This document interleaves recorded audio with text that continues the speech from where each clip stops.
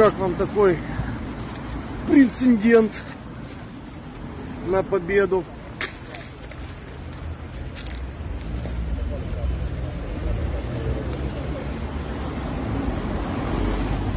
Какая-то нахуй самопальная ракета.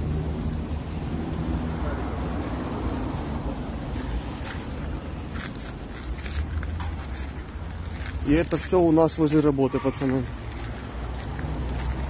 А вот с нее движочек, походу.